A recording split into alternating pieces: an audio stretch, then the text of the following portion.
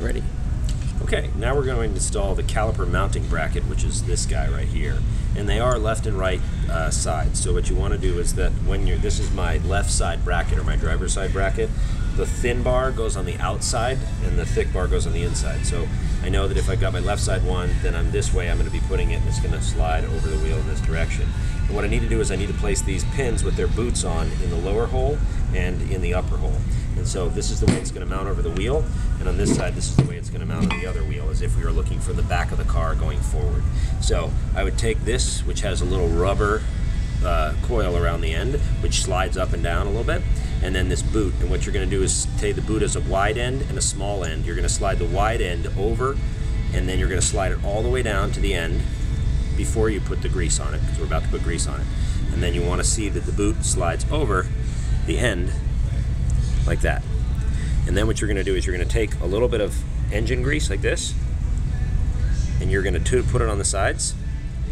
And what you want to do here is you want to grease it as little as possible. So you'll see I put just a dab, and now I'm spreading it all the way around.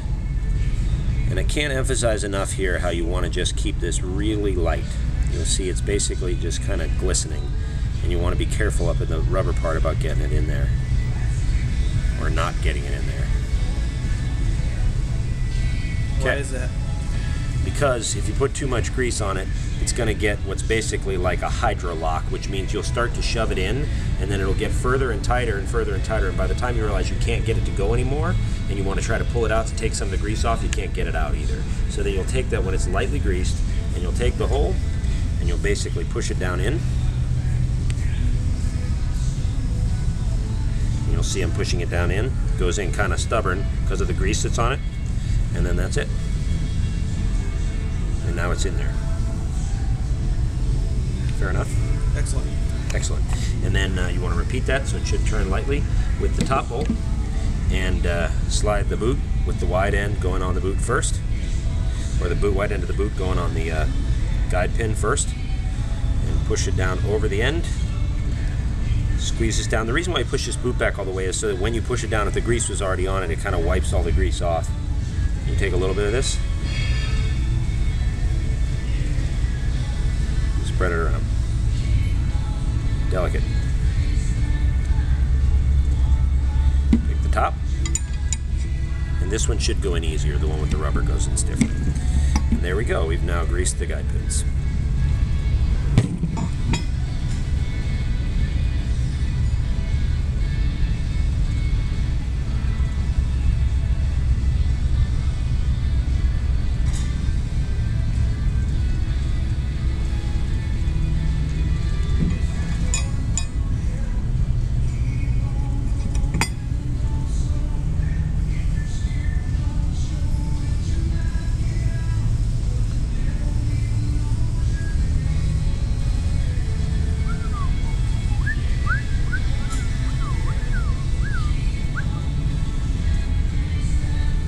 That rag in the picture? Uh-huh. Still filming? Yeah. It's in the video. Video. Here we go. In. So I have to add that. Rag, Not pictured. not pictured. Okay, next step. Bolt goes on using the uh, the four bolts with the yellow Loctite on.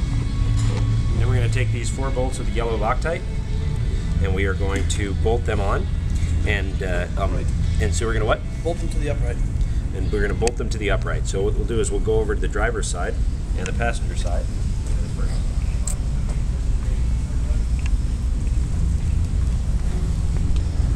Over here.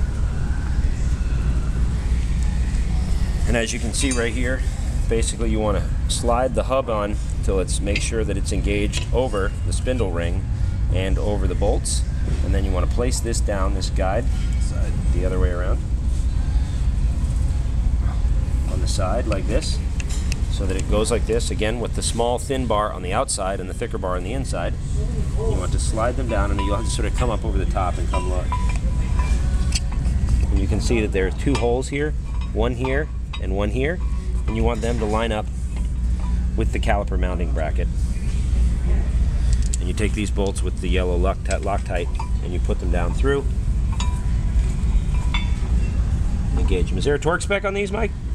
Yeah, uh, I believe it's 148. We have the Ford documentation for it, so we use that. I believe it's 148 foot pounds. And uh, so check the torque spec in the build instruction, but you tighten these down to the torque spec and then uh, mark them, and that'll be the end of the step for mounting the uh, um, uh, brake caliper bracket.